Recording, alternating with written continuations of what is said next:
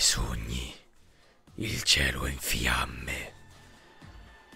Gli astri rifulgono al punto da annegare l'oscurità che li circonda. Nello scorgere una tale luce, il mio cuore palpita e lacrime di speranza mi recano le guance.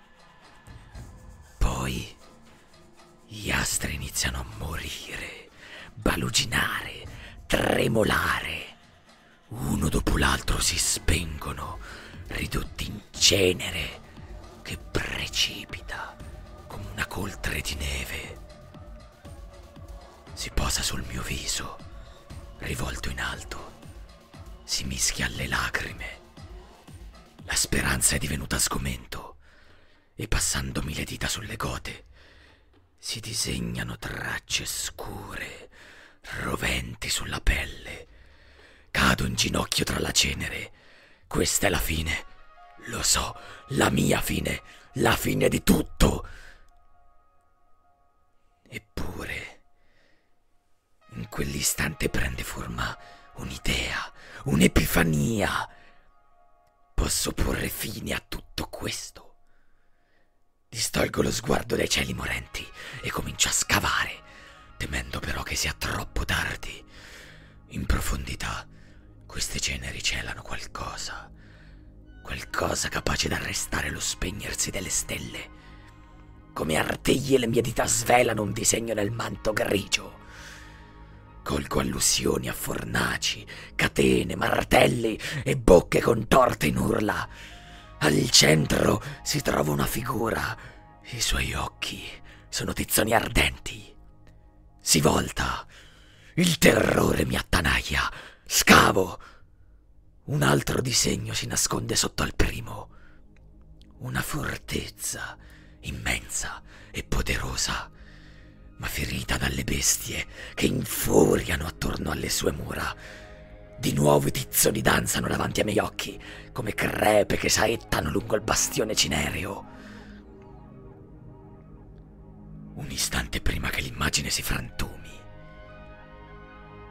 quelle linee incandescenti dipingono i tratti di un gigante color cremisi. In alto gli astri muoiono ancora e ancora. Così scavo. Scorgo una foresta cinerea crescere, avvizzire e crescere di nuovo. Scorgo un cavaliere d'altri tempi inginocchiarsi vittorioso, ma piangere lacrime di cenere. Scorgo occhi concentrici, ma dentro di essi nulla. La luce scema e ancora scavo. Non posso fermarmi. Eccola, infine. Una chiave deforme, fatta d'ottone, osso e pietra. Nel toccare la ruggine che la ricopre, le mie dita sanguinanti sustionano. Non posso curarmene. Devo porre fine a tutto questo. A una chiave occorre una serratura. Mentre il sogno inizia a sbiadire, il mio sguardo viene trascinato verso i cieli vuoti. Non voglio guardare, ma non posso fare altrimenti. Resta un pugno di stelle. Vortica fino a diventare un punto tanto incandescente da accecarmi. Ecco la serratura. Nel sollevare la chiave con mano tremante, un nuovo timore mi coglie. Che cosa è stato imprigionato? Che cosa libererò? I dubbi mi schiacciano ed un tratto mi sento una pedina. Ormai sono schiavo del mio sogno. Oppormi è impossibile. La chiave si infila in quella serratura che arde come la luce degli astri morenti. Gira e le fiamme mi sommergono. Mi sveglio urlando, con le unghie strappate dalle dita gonfie e lacrime di sangue che mi solcano il volto. Talvolta, per mia fortuna, passano giorni prima di tornare a sognare, ma torno sempre a farlo.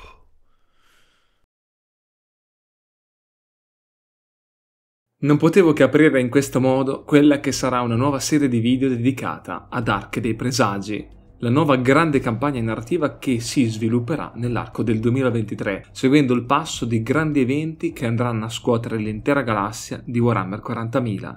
Le forze del caos si muovono, ma non saranno le sole ad agire, perché come di consueto lo scacchiere galattico è vasto e i pezzi che lo compongono numerosi. Ogni fazione si troverà dinanzi a nuove sfide o possibilità, difficoltà e momenti di gloria, ma tutto inizia da qui e da questo sogno di rovina e rivalsa. Raccoglie presagi di ciò che Arche dei Presagi potrebbe celare in sé. Prima di gettarci nel vivo degli eventi raccontati in questo primo libro, voglio innanzitutto ringraziare Manion per aver dato la sua voce a questa introduzione che ho riportato uno a uno dal libro stesso, quindi ovviamente ringraziamo Manion per questo e voglio sottolineare che l'intento di questa serie sarà sempre quello di riassumere i fatti narrati. Tuttavia, per non incorrere in un mero lavoro di trascrizione, il tutto sarà filtrato dal mio punto di vista, perciò in alcuni passaggi sarò più rapido rispetto al ritmo originale dello scritto, mentre potrei soffermarmi a riflessioni personali che possono anche lanciare degli spunti di riflessione o correlazioni interessanti. Qualcosa che chi di voi avrà seguito i video sul risveglio psichico potrà ritrovare con modalità simili, seppur differenti. Fatto questo piccolo quanto doveroso preambolo, possiamo effettivamente lanciarci nel vivo di Arche dei Presagi, Abaddon. Mentre Abaddon conduceva le sue forze verso Vigilus nel guanto di Nakmund, altre bande di traditori ed eretici si avventarono sui sistemi limitrofi. L'artefice del Warp Vask decise di condurre un'offensiva ai danni del data sacrario di Pergamatros, una luna artificiale controllata dalle forze dell'Adeptus Mechanicus del mondo forgia di Goralek. Il loro sacro dovere era la manutenzione del luogo, ma in gran segreto, per conto di una cabala del Lordo Malleus, si occupavano di scovare conoscenze proibite. Proprio per quel motivo vennero erette le cripte di Pergamatos, luoghi nati con lo scopo di celare ad occhi e orecchie indiscrete le pericolose nozioni apprese dai magi, grazie a paratie auspicatorie capaci di occultare il satellite anche ai sensori più potenti. Il disastro iniziò anni prima, con impercettibili sbalzi di tensione. La gradualità del danno arrecato da una piccola conduttura di servizio venne a galla solo quando i cavi dietro al portello di controllo ne vennero intaccati. Tuttavia, quando la manutenzione necessaria richiamò l'intervento di un servitor, anch'esso dimostrò problemi. Nelle sue subroutine cerebrali si era sviluppata un'anomalia ciclica che fu però giudicata trascurabile e non appena toccò i cavi l'anomalia si presentò, scatenando un effetto a catena. Un getto di liquido refrigerante pressurizzato eruttò dal condotto divelto. L'automa prese a bruciare nelle sue parti organiche. Per quanto le squadre di intervento giunsero in una manciata di minuti, il danno era fatto. Per cinque minuti ogni radar attivo nella zona captò la presenza di Pergamatos. In quella finestra di tempo, gli auguri dell'Irridenta, una cannoniera della Legione Nera, ottennero una data immagine completa della luna artificiale, compresi dei cenni ciò che conteneva. Difesa da batterie laser e protetta da scudi vacuum ed uno spesso rivestimento d'adamantio, Pergamatos non era un facile bersaglio di per sé. Inoltre, legioni di devoti schitari erano motivate a dare la vita pur di proteggere ogni centimetro sotto la loro tutela. Infine, un manipolo di Titania River della Legio Maledictus era pronto a respingere gli eventuali aggressori. Grazie ai dettagli captati dagli auguri, l'artefice del Warp Vask era più che informato e il suo contingente era altrettanto imponente, grazie alla presenza di legionari neri, corti di magi e servitors del meccanico oscuro e altre abominazioni corrotte. Quella che seguì fu una battaglia drammaticamente a senso unico. I generatori di scudi subirono guasti misteriosi, così i difensori furono in breve costretti allo scontro diretto. Le batterie orbitali vennero devastate dalle navi da guerra della Legione Nera. In quegli istanti due distaccamenti atterrarono sui poli della luna artificiale per ingaggiare battaglia con i magi che, nonostante tutto, combatterono con fervente spirito e fanatica devozione assieme ai loro schitari. Caddero, mentre macchinari dallo spirito demoniaco si occuparono invece dei titani. Mentre i canyon dati venivano invasi dai kill team di Astartes traditori, nelle ultime ore della violenta battaglia, un malfunzionamento di una paratia rinchiuse il magos minoris Jurek, arcanista incaricato dai suoi patroni di svelare i segreti di Pergamatos, in una stanza isolata, dove si imbatté in un riposacrario protetto. Esperto nelle arti oscure, riuscì a sciogliere i ceppi che lo serravano. Mentre gli automi all'esterno della stanza stavano provando a forzare l'ingresso con la forza, il Magos entrò in contatto con il datatomo. I suoi sensi furono investiti da voci che promettevano conoscenza e potere inimmaginabili. Quella era per Jurek l'occasione di dimostrare il suo valore ad Abaddon, ricevendone le grazie. Poco prima dell'apertura della partia, trafugò il datatomo e lo portò via da Pergamatos all'insaputa di tutti non appena a bordo della spirito vendicativo, avrebbe iniziato il lavoro di decodificazione, o almeno quello era il suo piano. Mentre questi eventi si consumano, su Vigilus Abaddon viene costretto alla ritirata. Le forze imperiali, grazie all'aiuto degli Eldari, sono riuscite ad assestare un colpo devastante niente meno che alla spirito vendicativo, l'ammiraglia del distruttore. L'antica nave è ora al sicuro, lontano dai fuochi della guerra. Abaddon tormentato da sogni carichi di presagi oscuri. I capricci delle divinità del caos sono fin troppo pericolosi e piegare l'Imperium non è qualcosa che si può fare affidandosi al loro benestare. Così il War Master dell'Imperium Nihilus decide di consultare le figure cadaveriche ricolme di energie empiriche note come gli oracoli all'interno dell'occultorium della nave. Le creature trapassate potevano manifestare visioni da tutta la galassia, ma dal canto loro non avrebbero aiutato Abaddon nella sua volontà di ricerca. Si mostrarono fin da subito minacciosi, e a ragione. Se non fossero stati incatenati al soffitto della stanza, bloccati da sigilli runici, il loro sguardo privo di occhi avrebbe potuto uccidere sul colpo anche lo stregone più navigato. Tuttavia, il distruttore non avrebbe accettato una perdita di tempo Sedate le intimidazioni, ottenne finalmente il primo responso, che si materializzò sotto forma di immagini da un ottagramma steso sul pavimento. La prima visione, un campo di battaglia, con guerrieri zuppi di sangue e città in fiamme. Abaddon colse un'immagine floretante e comparve un guanto d'arme chiuso a pugno, Intorno, la furia delle tempeste e warp che lo avvolgevano presero a strappare strato dopo strato il suo rivestimento metallico, fino a che non divenne effimero e attanagliato dall'oscurità. Aprendosi infine di scatto, le dita corazzate vennero trascinate via dal gorgo. Abaddon era già a conoscenza dei successi di World Claimer nel guanto di Nachmund, non cercava deferenza, tornando a chiedere altre visioni. Le immagini tornarono a vorticare sotto il suo sguardo. Provava invidia per il World Claimer. Guidare una campagna di tale distruzione contro gli adoratori del cadavere e immergere Drachnien, la sua lama, nel sangue del nemico avrebbe senza dubbio placato la sua ira. Suo malgrado non poteva permettersi tali lussi in quel momento. Il distruttore sapeva che tra i suoi seguaci serpeggiavano domande pericolose. Alcuni si chiedevano perché non avesse già fatto rotta per la terra, sfruttando il calare della Noctis Eterna per sferrare il colpo fatale. Oppure perché non avesse già inviato tutte le sue forze sul sentiero Cremisi, visto il vacillare dei lealisti. La risposta era semplice. Abaddon non era un folle come lo era stato Horus. Non avrebbe rischiato di porre le sue ambizioni all'illeggibile Immaterium e ai capricci degli dei oscuri non avrebbe mosso sulla terra lasciandosi alle spalle stuoli di devoti del cadavere pronti ad attaccarlo. Il distruttore non amava giocare d'azzardo e mal sopportava l'arroganza insita nel retaggio ereditario dei primarchi.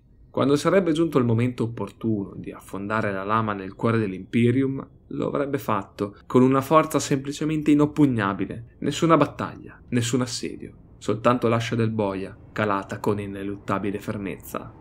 Nonostante la consapevolezza, Abaddon sapeva che tutto ciò era più facile a dirsi che a farsi. Persino il termine ordine era a dir poco un eufemismo. Le orde che si dichiaravano a lui fedeli erano sconfinate, ma i loro scopi molteplici, spesso allineati solo per timore o convenienza, e non da meno dietro di loro si celava l'influenza dei poteri perniciosi.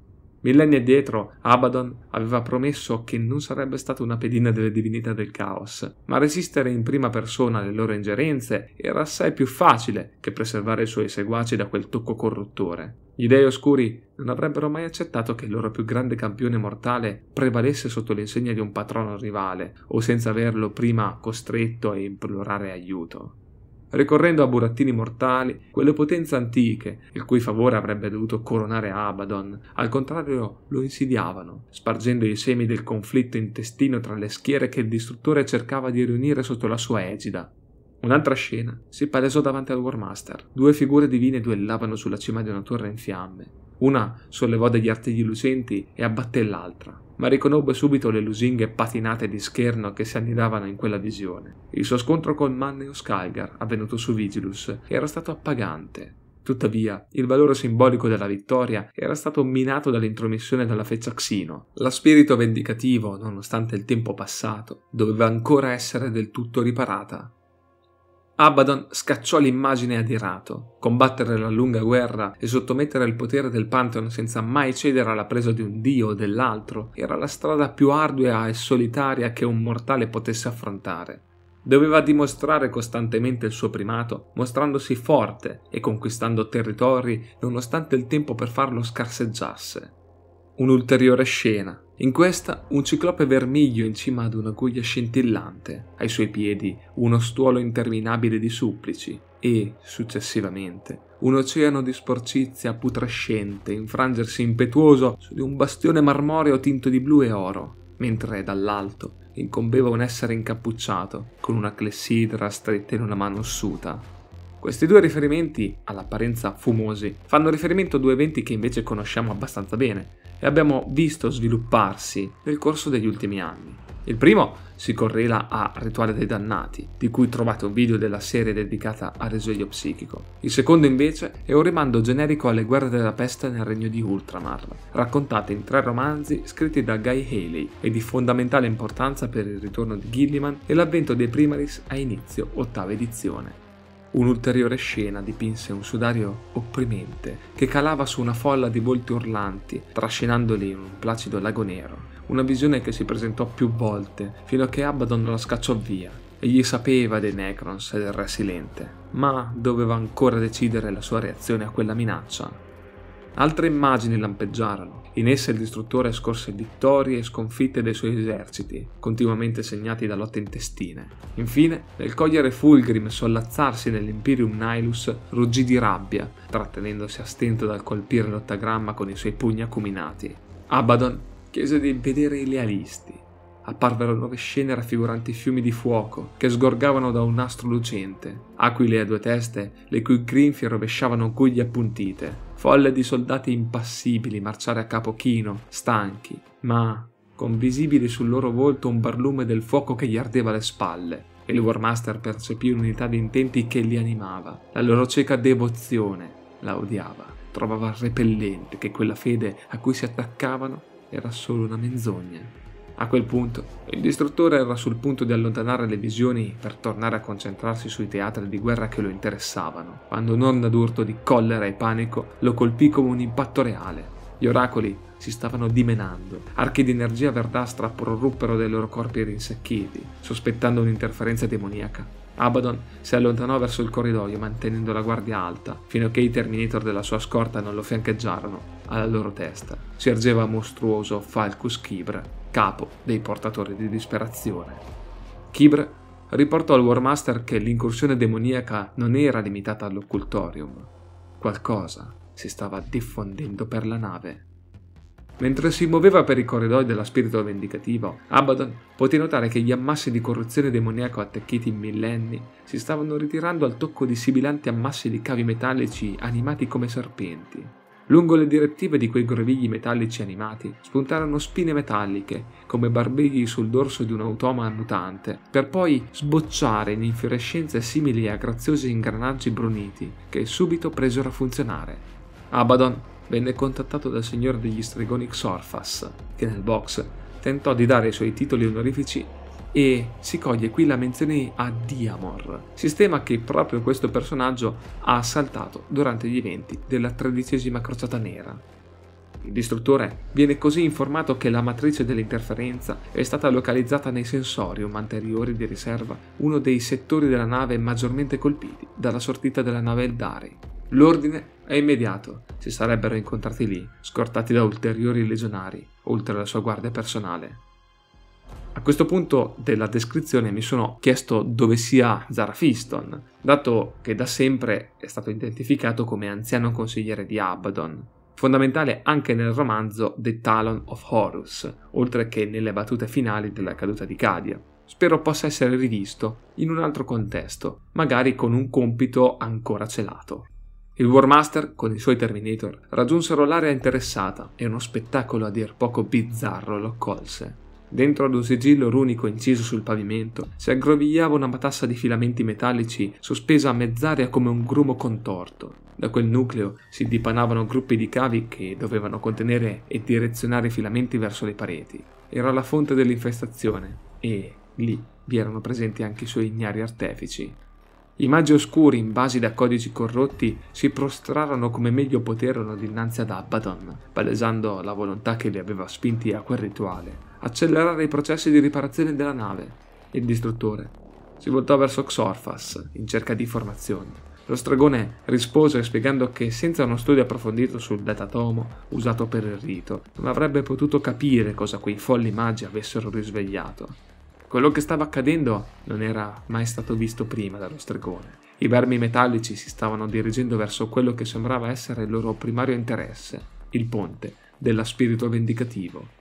L'ammiraglia non poteva essere compromessa. Abaddon consegnò a Kibre i magi per torturarli e scoprire quanto più possibile su ciò che avevano fatto. Al contempo si diresse verso il ponte con Xorfas. Giunto sul ponte, Abaddon si arrestò repentinamente. Lo stregone quasi gli andò addosso e sollevando gli occhi dal datatomo, anche lui venne colto di sorpresa dalla vista. Il distruttore attonito, incapace di comprendere. Cavi intrecciati, metallo fuso crepitante di energia che sgorgava da ogni console. Servitors e i loti, da millenni uniti ai terminali, vennero staccati, sospinsi verso il fulcro di metallo e toccandolo vennero ridotti a brandelli, tingendo di rosso la massa metallica. Il distruttore era pronto a ordinare ai suoi legionari di aprire il fuoco sull'anomalia vorticante, ma qualcosa che neppure lui si seppe spiegare lo fermò dal farlo. Forse un fatidico presentimento. Una figura umanoide prese forma dall'ammasso di membra ed elementi di metallo. L'entità di ferro, vivente, ammantata di vapore e saette d'energia, poggiò i suoi zoccoli sulla plancia. Gli occhi come fari in fiamme fissarono il War Master e dalle casse acustiche del ponte proruppe una voce. Si introdusse come Vashtor ed era giunto lì con una proposta per lui. Nessuno può sapere cosa sarebbe accaduto se Abaddon avesse aggredito l'intruso demoniaco, ma il destino prese un'altra direzione e chiese all'essere quale divinità stesse servendo, interessandosi a cosa stesse facendo con i meccanismi della sua nave e come dei cultisti fossero riusciti ad evocarlo in maniera tanto appariscente.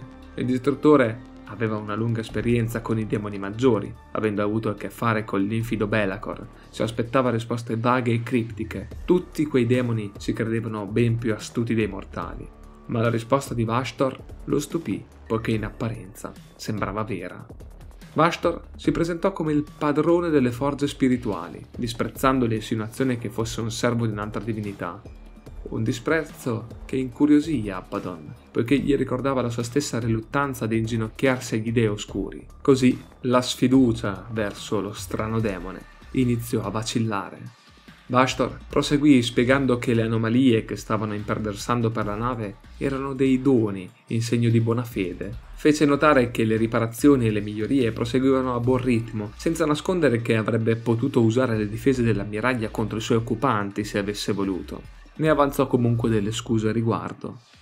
Abaddon ricevette conferma dai suoi magi per tutta la nave. Le possessioni demoniache venivano rigettate e sostituite con sistemi biomeccanici di gran lunga più efficienti, ma non si scorsero tracce della doppiezza dell'Archifane, e così il Warmaster lo esortò a proseguire. Il semidio che quei cultisti avevano evocato non era che una parte di una macchinazione più vasta, una minima dimostrazione del suo potere sui meccanismi della realtà. Quell'affermazione fece adirare Abaddon, che gli ricordò come per dieci millenni non si era inginocchiato a nessuno delle oscure divinità, non si sarebbe tantomeno prostrato al cospetto di quel dio dei cogitator. Ma Vashtar apparve assurdamente divertito dalla sua risposta. Il demone mise in chiaro che non voleva rendere il distruttore un suo schiavo, anzi sperava di formare un'alleanza che potesse andare a vantaggio di entrambi. Sapeva che Abaddon era alla ricerca di un oracolo o una formula che lo conducesse a un'arma capace di piegare il fato, un'arma che in vero aveva già identificato.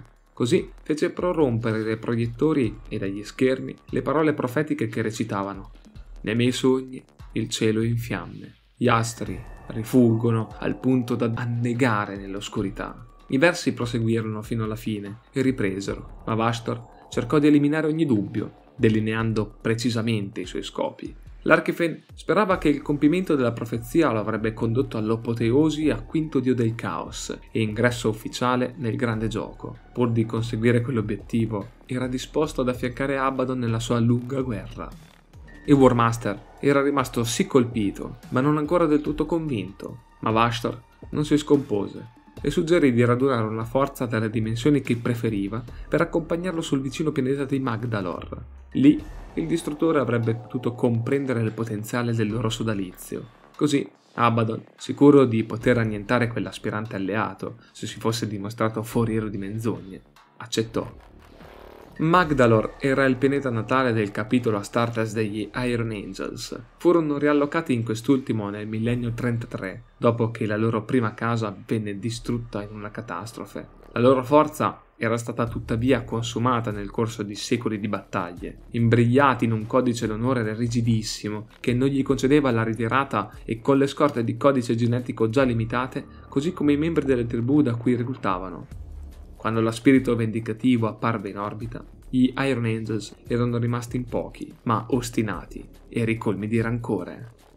I cimeli rimasti nelle mani del capitolo erano stati condotti nel cuore della fortezza monastero denominata Corona degli Angeli, scavata nella più alta montagna del pianeta, un luogo difficilmente espugnabile, che rendeva la causa lealista non persa fin dal principio, specie per la presenza della loro flotta capitolare. Inoltre, una richiesta di aiuto venne inviata verso gli altri domini imperiali, un atto quanto mai simbolico davanti al distruttore, perché la battaglia non sarebbe durata abbastanza da permettere l'arrivo di rinforzi.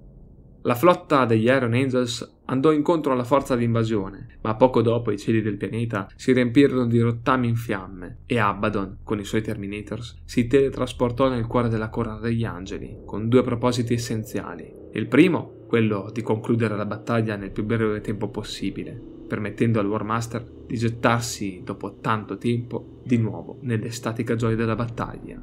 Immediatamente la forza d'assalto venne circondata dagli Astartes lealisti. Un trio di bibliotecari guidava la difesa. Il fuoco ben piazzato degli assediati riuscì ad abbattere qualche membro della scorta di Abaddon, scatenando la gioia del distruttore, che si lanciò addosso alle graniere di colpi, incrociando le lame con due dei bibliotecari. Nel frattempo, il fuoco dei Terminator tornò a tonare, abbattendo i Marines lealisti, con Kibr a dirigere la carica contro i veterani degli Iron Angels, con uno scambio di colpi poderoso. Il Warmaster tagliò di netto la testa di un bibliotecario. Subito l'altro lo insidiò con un sortileggio psichico, ma con un ringhio rabbioso e lacrime di sangue riuscì a calare Drachnien, squarciandolo dalla spalla al bacino, per poi unirsi a Kibra nel massacro che si stava consumando, sventrando un lealista dopo l'altro, fino a che non rimasero che cadaveri sanguinanti.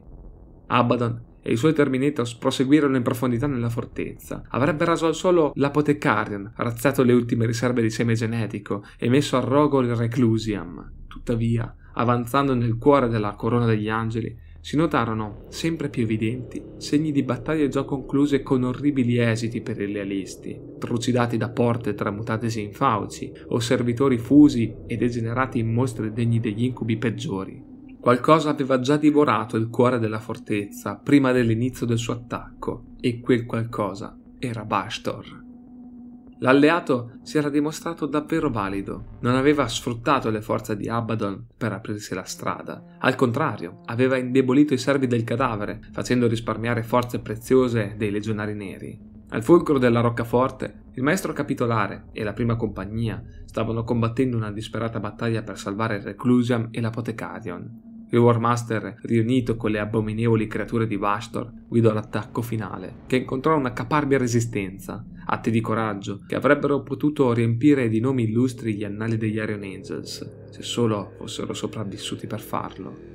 Bastor si occupò del reclusiarca Arzen con un colpo micidiale del suo martello o delle forze spirituali, mentre Abaddon e il maestro capitolare Niamarn si scontrarono in un duello, scambiandosi un colpo dopo l'altro, fino a quando Drachnien non trapassò fino all'elsa il petto di Niamarn. Di lì a poco gli ultimi Iron Angels caddero, ponendo fine al capitolo. All'interno del Reclusium, Vastor colse una reliquia da un pilastro di marmo fluttuante in un campo di stasi. L'estinto capitolo degli Iron Angels la chiamava la pietra del giuramento ed ora era nelle mani di Abaddon.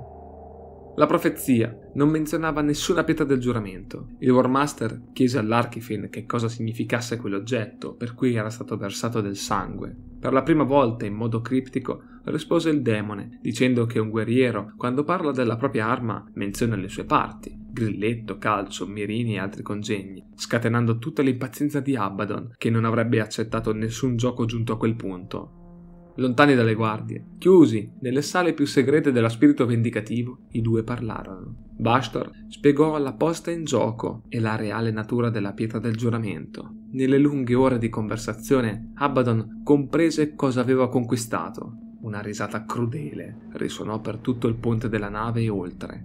Anche quando tornò dai suoi sottoposti, il distruttore non riuscì a trattenere un sorriso tetro, commentando che, nonostante la tanto vantata pietà, i lacchè dell'imperatore erano traditori peggiori di quanto qualunque caotico potesse mai essere. Perlomeno la ribellione da cui erano emersi era stata palese fin dalle sue prime fasi.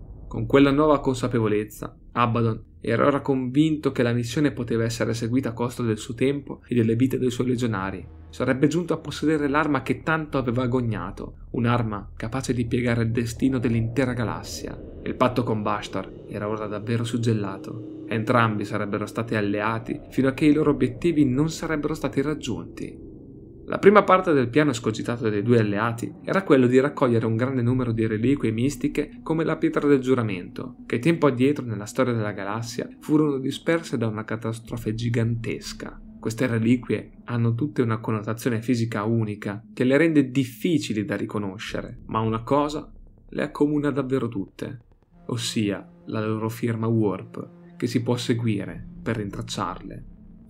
Bastor, nei suoi studi durati più vite umane, aveva trovato il modo di combinare queste reliquie grazie a rituali infernali, alchimia warp e ingegno soprannaturale, generando qualcosa di unico e capace di sbloccare quel potere che Abaddon stava cercando tanto quanto lui.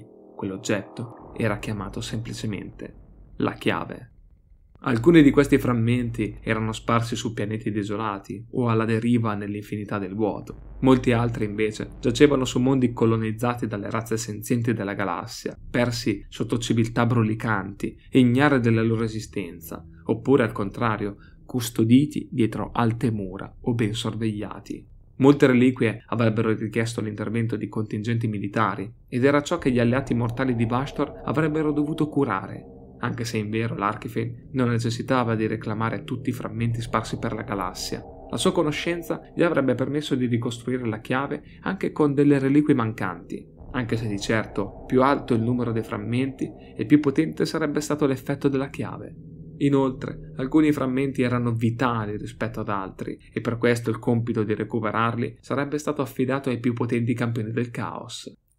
Nelle intenzioni di Abaddon vigeva la volontà di non sacrificare le vite dei suoi legionari in quelli che aveva già preventivamente considerato conflitti secondari. Anche per tale motivo, insieme a Bastor, aveva elaborato un piano per accorpare una titanica forza di traditori ed eretici. Il Warmaster aveva inviato un'offerta allettante ai signori del caos, Chiunque avesse accettato si sarebbe dovuto presentare dinanzi a lui e inginocchiarsi, ricevendo la sua protezione insieme ad un dono mirabolante. Se avessero completato il primo incarico a loro affidato, avrebbero potuto ricevere il comando di un'arca dei presagi. Ogni arca era in origine un titanico Space Hulk. Bastor, con l'aiuto dei magi oscuri e degli stregoni della Legione Nera, è riuscito a strapparne diverse dal loro vagare per il Warp, facendoli fuoriuscire nell'Imperium Nihilus, dove è iniziato il lavoro di trasformazione in relativa sicurezza e lontano da occhi e orecchie indiscrete. L'Archifane ha trasformato con la sua conoscenza arcana il primo Space Hulk catturato in un'arca dei presagi, capostipite di una produzione che venne poi perseguita in maniera del tutto indipendente dai servi di Abaddon sugli schemi impartiti da Vastor. Come ogni Space Hulk, anche questi celano al loro interno pericoli di ogni tipo, da razze aliene a infestazioni demoniache, ma il lavoro di disinfestazione non venne portato mai avanti fino in fondo. Per il distruttore quell'investimento di risorse e uomini non valeva la pena di essere pagato, lasciando solo gli spazi indispensabili per il funzionamento delle arche liberi da pericoli. Per i signori della guerra al comando delle arche dei presagi, il controllo delle stesse divenne di per sé già una prova del loro valore agli occhi di Abaddon. Qualora i pericoli nascosti a bordo si dovessero imporre sugli occupanti e prevalere, questo sarebbe bastato a tradire la protezione offerta, in tal senso, alcune bande vennero massacrate dagli orrori celati nelle zone più interne delle arche e in due casi la Legione Nera è dovuta intervenire per distruggere due di questi titanici vascelli con il fuoco concentrato di centinaia di navi da guerra per impedire alle minacce a bordo di rivoltarsi contro le altre forze ammassate dal War Master. La promessa di guidare questi vascelli dalla potenza indiscutibile attirò l'interesse di miriadi di signori della guerra e con loro migliaia di navi da guerra di ogni tipo. Chi non ottenne il comando di un'arca venne comunque messo nelle condizioni di seguire le loro azioni, alcuni fedelmente, per patti di sangue o paura, o magari per giungere dinanzi al fallimento di qualcuno e allungare le mani su ciò che desideravano. Così si formarono le flotte malefiche, sotto il vessillo di un singolo signore dell'arca, queste forze erano tanto imponenti da poter rivaleggiare con le flotte della crociata Indomitus. Abaddon non era però un folle. Sapeva che la semplice paura nei suoi confronti non avrebbe tenuto a bada tutti i signori della guerra dal perseguire i loro obiettivi personali. Così inviò su ogni arca agenti e campioni dalla fedeltà indiscussa per dirigere le flotte malefiche verso gli obiettivi fondamentali rappresentati dai frammenti di chiave. Questi erano spesso Terminator della Legione Nera, oppure prescelti, delle vere e proprie minacce viventi per i signori dell'arca, dato che questi adepti del distruttore avrebbero dato con gioia la loro vita e ucciso chiunque si fosse frapposto sulla loro strada, nella volontà di far rispettare la parola del War Master. Oltre a questa accortezza, Abaddon strinse patti segreti con agenti della Legione Alpha, che si infiltrarono nella maggior parte delle flotte malefiche. Il loro obiettivo era semplice, assicurarsi che frammenti recuperati venissero condotti al sicuro al di là delle perdite dei rischi, anche se non è noto quale ricompensa abbia promesso alla Legione Alfa il distruttore. La condizione di grande difficoltà che la galassia stava vivendo dall'apertura della Cicatrix Maledictum aveva portato molte razze ad adoperare sforzi estremi pur di mantenere un'organizzazione dei propri domini. Questo era un chiaro vantaggio per le arche e le corrispettive flotte malefiche. Ognuna di queste forze poteva operare con indipendenza, orbitando intorno all'arca di riferimento e ai comandi del suo signore in esatta contrapposizione alle flotte della crociata Indomitus, che lavoravano in maniera interdipendente con altre flotte, in un piano generale più elaborato ed esteso. Così facendo, Abaddon era riuscito a sfruttare la tendenza anarchica delle forze del caos e a trasformarla in un vantaggio. Non occorrevano strategie unificanti e coerenza di intenti. Inoltre, tutte erano sacrificabili una volta completata la loro prima missione. Prima di proseguire con l'ultima parte narrativa, vorrei soffermarmi sui tecnicismi utili a comprendere i funzionamenti prodigiosi celati all'interno delle arche dei presagi, che permettono di capire quanto siano incredibili questi vascelli generati dall'ingegno di Bastor. Quindi, schematicamente, ecco i potenziamenti e le modifiche apportate e tutti i loro funzionamenti. Ogni arca nasconde in sé un portale warp soggiogato, posti nelle zone più interne o nel retro delle strutture. Nemmeno i signori delle arche ne conoscono la funzione, ma Abaddon e Bastor hanno previsto la centralità del recupero dei frammenti di chiave. Questi portali sono connessi ad un luogo di recupero dove segretamente vengono radunati da ogni angolo della galassia, ove le arche operano. L'Obeliscan è invece una infernale invenzione di Vastor, un faro empirico generato da una macchina che unisce carne ed essenza demoniaca, che viene rifornita attraverso una fornace nutrita da anime di psionici, una terrificante parodia dell'Astronomican, capace di funzionare a breve distanza, consentendo alle flotte malefiche di mantenere coesione attorno alle arche anche nel mezzo delle tempeste warp della grande finitura. Ovviamente guidare uno di questi colossi è una sfida impossibile per un sistema di cogitator convenzionale o menti mortali. Per risolvere questo problema, Vastor ha innervato l'intera struttura composta da più navi con filamenti di biometallo autocognitivi che intrecciandosi e distendendosi nei sistemi meccanici ne hanno preso le redini creando dei gangliaxos che oltre a questo si connettono con un pilota demoniaco denominato Nucchiero, entità orripilanti che fungono sia da ponte sia da equipaggio, che seguono gli ordini dati dai signori delle arche, anche se la loro vera fedeltà è data solo a Vastor prima che ad un qualsiasi mortale. I Gangliaxos, nel loro innervarsi negli Space Hulk, hanno risvegliato alcuni dei prodigi meccanici che lo andavano a comporre e sono rimasti disattivati anche per eoni. Così ogni arca ha adesso la possibilità di fare affidamento su sistemi addizionali del tutto inconsueti, spesso antichi e perduti, come sistemi d'arma a base temporale, scudi a neutroni, comunicatori quantistici. Questi sono di certo potenti, ma sono anche asset inaffidabili. Per vincolare infine le arche dei presagi e impedire la ribellione degli spiriti macchina vestigiali e corrotti, Bashtar ha fatto affidamento a innumerevoli protezioni rituali, come templi eretti all'interno del vascello, iscrizioni runiche impresse sullo scafo e persino gabbie piene di streghe sottomesse e accecate, i cui poteri sono forzosamente volte alla causa. Con le arche pronte e le flotte intorno ad esse ammassate, la prima ondata discese sulla galassia, con la seconda già pronta a seguire. Ogni segmentum venne investito, senza risparmiare l'Imperium Sanctus. Cosa questa priva di precedenti, dato che vaste forze di traditrici fuoriuscirono dalla Cicatrix, attaccando bersagli a grande distanza dalle tempeste Warp e sfidando la luce dell'Astronomican nel pieno dei domini imperiali. Questo grazie ai nocchieri e agli obeliscan implementati su tutte le arche dei presagi. Gli imperiali osservarono queste flotte piombare su ogni tipologia di pianeta dell'Imperium o addirittura ignorarli per gettarsi nei domini orcheschi o tirannidi e di altre fazioni eretiche. Inizialmente non sembrava ci fosse un pattern unico, ma le somiglianze rilevate erano troppe, così come la costante sparizione di Archeotech, che si confermò quando i caotici scovarono e saccheggiarono anche enclave segrete dell'Inquisizione, scatenando l'inquietudine delle alte sfere, che comunque rimasero all'oscuro degli scopi che motivavano quegli assalti tanto azzardati. I contrattacchi imperiali non tardarono, diverse arche dei presagi furono coraggiosamente abbordate e depurate, ma molte altre continuarono a seminare distruzione ovunque giungessero. Uno di questi assalti colse il sistema di Cortosa e il mondo fortezza di Cortosa III, che in uno dei suoi musei marziali custodiva una spada che altro non era che un frammento di chiave. L'arca dei presagi nominata Ogre, comandata da Lord Gultorg il Deteriorato dei Sons of Roth, un capitolo di fedeli di Nargol, apparve nel sistema.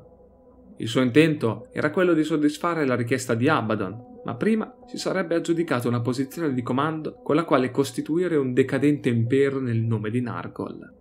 Centinaia di navi da sbarco calarono sulla superficie planetaria. Molte furono abbattute dalle difese dei bastioni, ma altrettante riuscirono a sbarcare gli invasori. Ben presto infuriarono scontri lungo la catena montuosa e sulle pianure d'addestramento. Gli attacchi batteriologici ridussero migliaia di lealisti in pozzeri bollenti, da cui si levarono masse di demoni in debito con Bastor. La situazione si palesò in breve tempo disperata per i difensori, ma la risposta imperiale sopraggiunse sotto forma di una punta di lancia che penetrò la forza dei cavalieri del caos alleate a Gultorg. Al contempo, in orbita, i rinforzi imperiali tentarono di forzare il blocco navale caotico, Templari neri e le sorelle guerriere, con la potenza delle loro navi da guerra, si spinsero nel mezzo delle formazioni transitrici. I cieli si striarono di fuoco per via dell'intensità delle battaglie navali.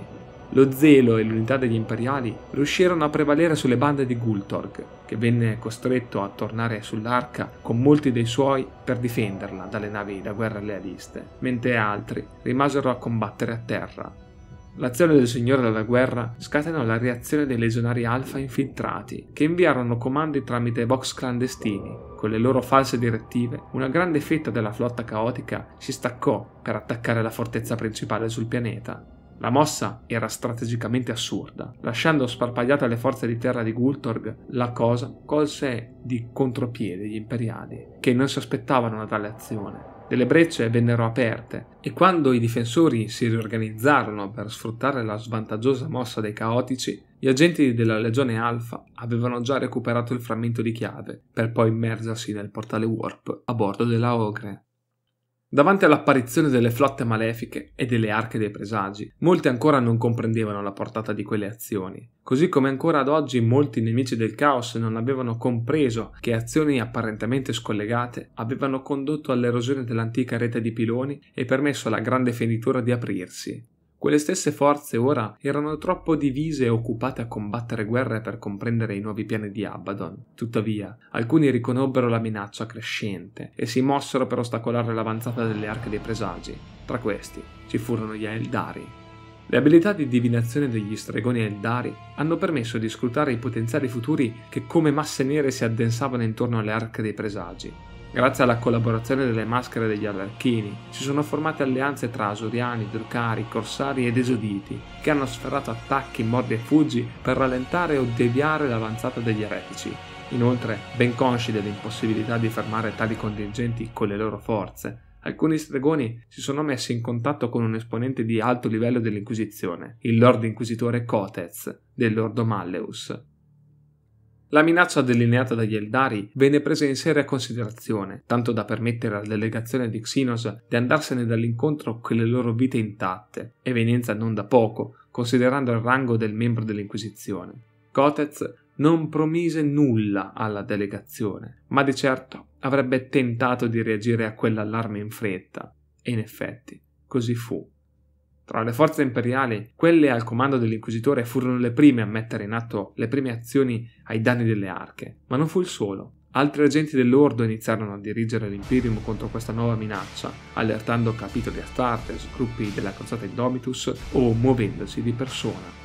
Grazie al loro addestramento, equipaggiamento e zelo, gli Space Marines e le sorelle guerriere si dimostrarono tra le forze d'abbordaggio più efficaci contro le arche dei presagi, anche se senza dubbio combattere contro questi colossi e le loro flotte scorta rappresentava una sfida ardua che richiedeva l'intervento di intere formazioni imperiali per avere possibilità di successo. Alcuni capitoli Astartes palesarono tutta la loro forza nel campo delle azioni di abbordaggio, come i Templari Neri, gli Iron Tridents e i Crimson Lament, anche grazie alle loro significative flotte, che si distinsero nel lanciare attacchi alle arche e infliggere danni spesso mortali. Altri capitoli, non altrettanto muniti di navi da guerra, così come spedizioni di sorelle guerriere, hanno garantito il loro appoggio alle flotte della Marina Imperiale, potenziando così le azioni d'abbordaggio in una combinazione di eccellenze che è riuscita a trarre in inganno più di una flotta malefica avvicinatasi alla formazione imperiale nella convinzione di poterle facilmente distruggere, solo per trovarsi assaltate da guerrieri in armature potenziate, carichi di odio e di fede. Nonostante la mobilitazione, solo pochi assalti alle arche risultarono del tutto un successo. Spesso danneggiare o rallentare questi titani si poteva considerare una vittoria in sé. Inoltre, molti attacchi erano in realtà azioni disperate contro schiaccianti forze caotiche utili a dare più tempo alle evacuazioni planetarie di compiersi, oppure per dare modo agli agenti dell'Inquisizione di scoprire dove il nemico avrebbe sferrato il suo prossimo affondo. Alcune arche invece si scontrarono con realtà Xenos terrificante anche per le forze del caos.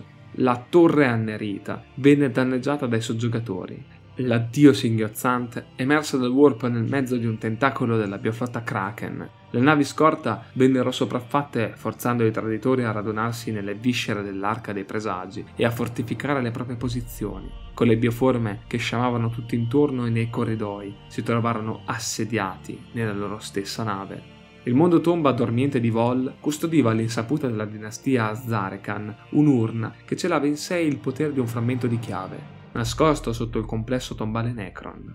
Quando una banda da guerra della stirpe dei Mille si teletrasportò dalla bestia scarlatta, colse di sorpresa gli Xenos dormienti, che vennero distrutti nel sonno prima dell'effettivo recupero dell'urna. Compiuta la missione, la flotta eretica se ne andò ma il signore supremo Somnatek di Vol, trucidato nella stasi, era stato riportato in vita dai protocolli di rianimazione nel vicino mondo vassallo di Locke. Oltraggiato dal modo disonorevole con cui era stato ucciso, adunò una flotta di navi tomba per dare la caccia ai nemici e vendicarsi della bestia scarlatta a costo di inseguirli per tutta la galassia.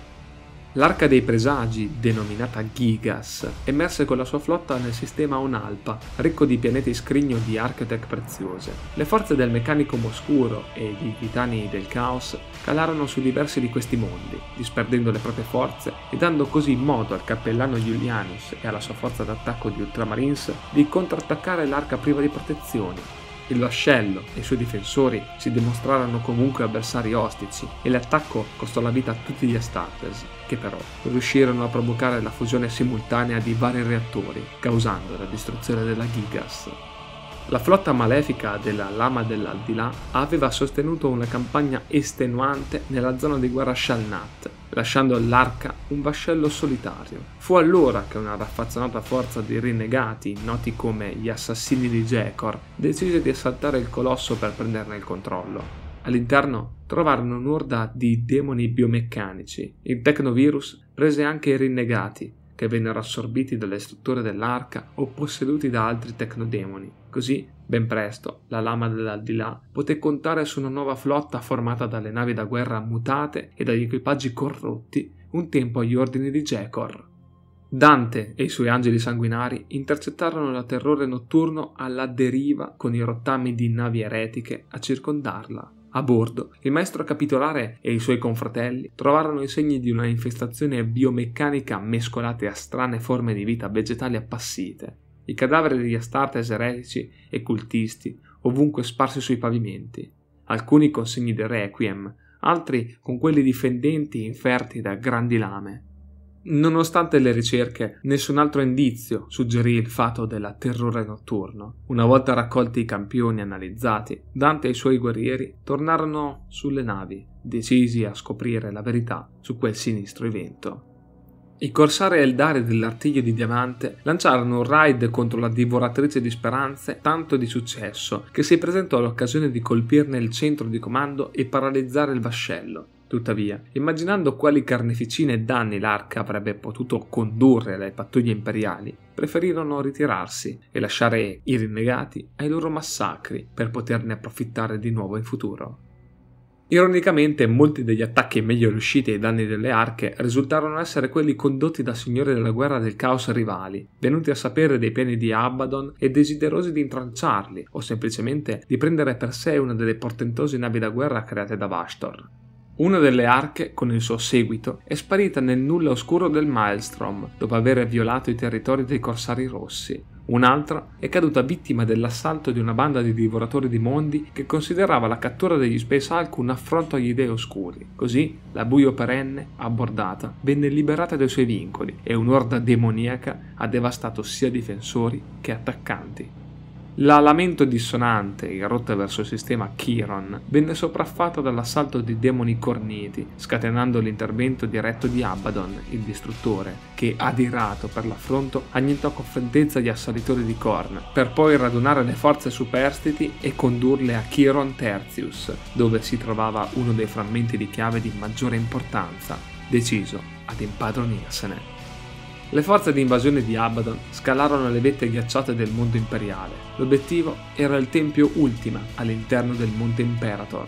Per entrarvi occorreva passare per il ponte d'accesso che dava su un baratro che terminava in uno dei bacini sacri nascosti alle pendici di quelle catene montuose. Abaddon avanzò a grandi passi con i suoi portatori di disperazione lungo il ponte. Davanti, le forze di difesa acadiane stavano cercando di effettuare una ritirata strategica, ma i loro passi nella neve non erano sicuri come quelli dei legionari neri. Alcuni caddero nella gola ghiacciata, sospinti dal vento o dalle onde d'urto provocate dall'impito delle lance dello spirito vendicativo che si abbattevano sui fianchi delle montagne. Anche fossero sopravvissuti all'impatto, quei fanti sarebbero morti congelati in breve tempo i loro corpi spezzati inghiottiti per sempre dalle acque che ritenevano sacre. Ciò provocò un fugace barlume di divertimento in Abaddon, che venne interrotto da un fortunato colpo di cannone laser che fece saltare il ginocchio di uno dei suoi Terminator, facendolo sbilanciare e cadere nell'abisso trascinato dal peso della sua armatura. Il distruttore ringhiò di rabbia. Tutto si stava svolgendo con troppa lentezza. Nemmeno avrebbe dovuto trovarsi lì a mettere a repentaglio le vite dei suoi uomini se l'equipaggio dell'armamento discordante non fosse andato incontro al fallimento. Ma ora era lì, rallentato dal freddo, dalle condizioni atmosferiche e da un'irritante banda di adoratori del cadavere che ancora osavano farsi chiamare cadiani, quasi fosse una medaglia al valore e non un marchio di vergogna. Abaddon utilizzò il suo Vox per scernire i difensori, ricordandogli di aver spezzato il loro patetico pianeta e averli resi miseri orfani di un mondo infranto, e che se gli fossero stati necessari altri cento massacri prima di fargli capire la lezione, non avrebbe esitato a farlo. Il War Master corse, caricando la linea acadiana. I proiettili degli alisti sibilavano intorno, alcuni rimbalzarono innocui sulla sua armatura, superando di slancio il ponte fino a piombare in mezzo ai soldati trincerati a difesa del cancello Ascensor, l'unica via d'ingresso da cui si poteva accedere ai livelli superiori della montagna e quindi al frammento di chiave. Una sergente cadiana lanciò un urlo carico di rabbia e paura, mirando alla testa di Abaddon con una pistola Requiem. Prima che potesse sparare, le canne dell'artiglio di Horus tornarono e la ridussero ad una poltiglia sanguinolenta e fumante nella fredda neve. Poi avanzò, usò l'artiglio con un marrovescio squarciando la barricata, lanciando in aria sacchi di sabbia e pezzi di soldati della guardia. A destra del distruttore si levò un altro urlo. Per l'imperatore! e seguì il tonfo di un lanciagranate. Abaddon si voltò con una velocità inumana, considerando la possanza della sua armatura, e con il piatto di Dracnian deviò il colpo, spedendolo in mezzo ad un gruppo di cadiani. La malvagia spada dimostrò la sua indignazione per quell'utilizzo poco dignitoso. Il granatiere fece per ricaricare, ma la paura lo portò all'errore. Gli fu fatale. Dracnian saettò e gli trafisse di punta la testa, per poi abbattersi sugli altri più vicini.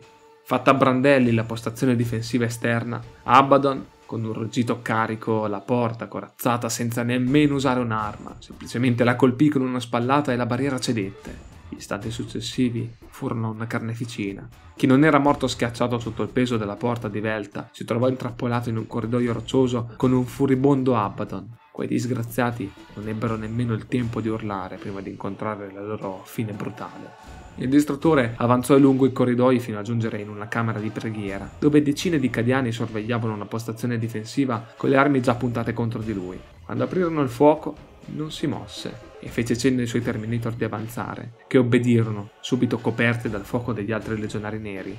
Mentre stava per unirsi all'assalto, il box personale di Abaddon si animò Bastor lo stava contattando. L'Archifen spiegò come macchinazioni impreviste avevano portato a delle difficoltà nel proseguimento dei piani.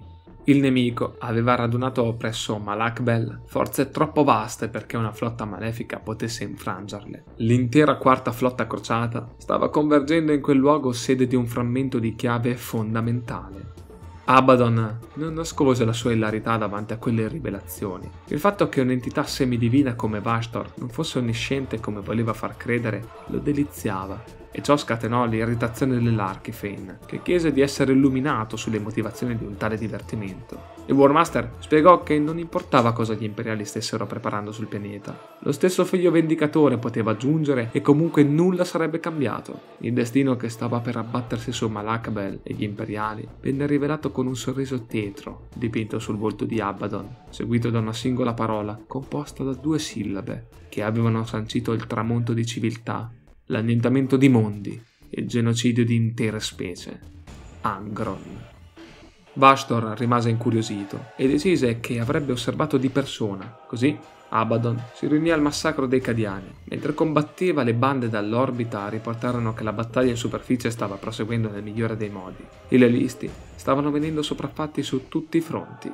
L'ostacolo finale alla vittoria decisiva erano i rimasugli dei figli Tempestus. Posizionati dietro le barricate, avevano già ucciso diversi legionari grazie al loro mortale fuoco mirato. Testimoni erano i corpi senza testa o le piastre fuse delle corazze degli Astartes eretici caduti.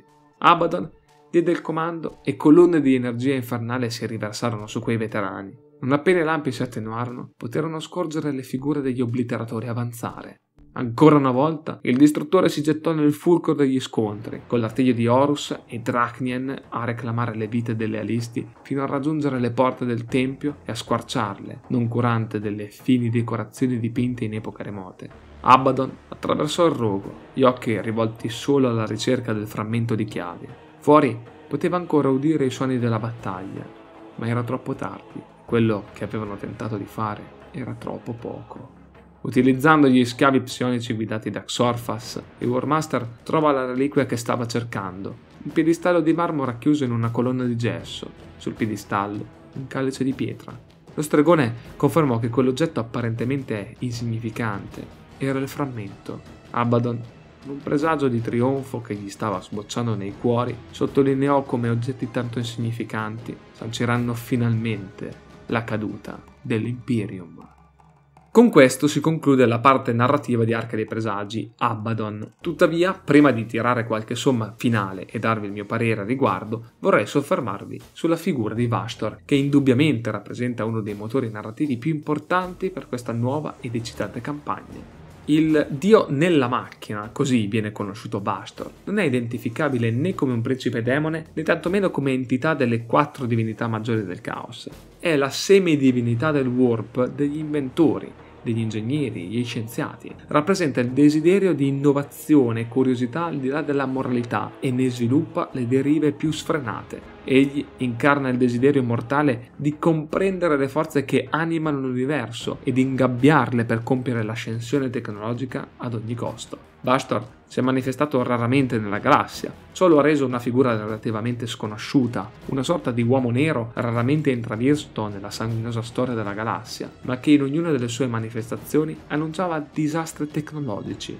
Alcuni credono che abbia avuto la sua genesi nel warp durante la corsa agli armamenti di un'antica guerra che ha attraversato l'intera galassia. Altri invece pensano che gli orrori dell'epoca oscura della tecnologia lo abbiano alimentato fino alla teofania e anzi, ancora più oscura è la convinzione che lui fosse l'autore e il mecenate di quegli antichi eventi. Bastor ha la sua sfera di influenza e il suo ruolo all'interno del Pantheon del Caos più espanso, è il maestro delle forze degli spiriti o delle anime. I suoi mediatori fanno patti con demoni disperati e assetati di potere per poi entrare e pilotare Soul Grinders, Calamity Engines o Iron Bombards, in cambio di una quota crescente di anime mortali da versare. I demoni, con poco da offrire alle forze delle anime, entrano invece al suo servizio per un certo periodo. Questi vengono quindi dolorosamente fusi con i macchinari delle fucine in una condizione di stenti miserevole. La servitù a contratto di questi eserciti di demoni dedita a Bastor è connotata dagli strumenti metallici di schiavitù o parti meccaniche fuse sulle loro forme materiali, nel trionfo dell'oscura tecnologia mutagena. A differenza di altri demoni, però, non è nella natura di Vastor mentire o ingannare. I suoi patti e contratti sono chiari nelle loro condizioni ed infatti la natura ossessiva dei demoni che a lui si appellano che li intrappola al suo servizio. Ogni sconfitta che subiscono aumenta il loro debito e infatti pochi sono sfuggiti alla prigione che autonomamente si sono inflitti. L'utilità delle macchine demoniache di Bastor, unita al pericolo di inimicarsi l'unica entità in grado di fornire armi a chi partecipa al grande gioco, lo protegge dall'ira degli dei del caos per il furto dei loro demoni. È il trafficante d'armi degli dei, agente di nessun dio, eppure un alleato scomodo per tutti loro, meticoloso e perfido, la cui volontà ineluttabile ricorda i frenetici ingranaggi di un macchinario immenso e inarrestabile. E così possiamo terminare anche questo excursus su Bastor, che, come avrete capito, sarà un personaggio capace di dare molto di più anche in futuro. Di certo le sue macchinazioni si sono soltanto messe in moto, non sappiamo a quali esiti esse possono arrivare, ma il respiro è ampio e sinceramente sono soddisfatto del come esso sia stato inserito nella lunga guerra di Abaddon, che da ora prende di nuovo slancio dopo gli eventi di Vigilus. Il libro presenta un ampio bagaglio di nuova narrativa, che si aggancia a più riprese ad elementi impostati nel passato. Viene ad esempio nominata la zona di guerra Shannat, per quanto non sia stato aggiunto molto altro nel novero degli eventi che lì si stanno consumando. Inoltre, i ponti narrativi dal passato si impostano a volte in modo più solido, in altri solo accennando a qualcosa, che siamo certi di poter capire come le macchinazioni di Magnus sul pianeta della stregoneria. Di certo però l'avvento delle arche dei presagi è solo all'inizio. Questa novità porterà ad un importante scuotimento che abbiamo solo sondato. Abaddon è stato splendidamente ripreso, un personaggio che ancora troppo si lega al nomignolo di Fedbadon, ma che al di là del meme si dimostra essere sfaccettato e affascinante, ricalcando la profondità dei romanzi che lo raccontano nel post eresia di Horus. Per ovvi motivi non ho potuto riportarvi la profondità che le pagine di questo libro hanno saputo dipingere, ma di certo i suoi piani sono capaci di nuovo di spaventare, come accadde per la tredicesima crociata nera. Per quanto concerne la chiave e la misteriosa arma che cela, si tratta di un potere che nelle mani del distruttore potrebbe diventare la matrice di una nuova ondata massiccia di problemi, non solo per l'Imperium. Il tutto sarà da vedere ovviamente, ma per ora il piano prosegue e l'intravedersi di Angron non sembra far diminuire l'impeto delle ondate caotiche lanciate per la galassia. Per ora si sono viste ancora poco le azioni di alcune razze in particolar modo fra gli Xenos, il che mi lascia con il desiderio di vederne di più. A proposito, i Necron, che vengono menzionati come un problema per il distruttore, il Re Silente è un personaggio che potrebbe creare grandi problemi allo svolgimento del piano di Vastor e del suo alleato. Diversamente comunque dal risveglio psichico, Arca dei Presagi si connota subito con una qualità ed una quantità importanti, siamo lontani dal singhiozzante modo di portare avanti la macro narrativa di Warhammer 40.000 che tanto avevo criticato all'epoca. Lo definirei un intrigante inizio. Non perfetto, ma di certo molto buono e che non vedo l'ora di scoprire e raccontarvi. Io vi ringrazio per l'attenzione e vi rimando ai link per i miei social, tra cui il gruppo Telegram e Discord, dove potrete entrare in contatto con la community e condividere la vostra passione non solo strettamente per gli universi GV. Inoltre vi ricordo che mi potete trovare anche live su Twitch dove condivido la mia passione per il modellismo e dove propongo contenuti aggiuntivi a tema lore. Infine, se volete sostenere il mio operato concretamente, potete farlo acquistando i pacchetti podcast sulla lore di Warhammer Fantasy o 40k. Trovate il link al video dove tutto questo è spiegato qui sotto o nelle schede finali. Grazie ancora e ovviamente un grazie speciale anche a tutti coloro che nell'arco di questi ultimi mesi si sono abbonati attraverso il canale Viola. Il vostro contributo è stato fondamentale per trovare i fondi per l'acquisto di questo libro e come di consueto di approfondire alcuni aspetti anche di altre pubblicazioni. Quindi grazie davvero a tutti quanti voi e ovviamente al prossimo video.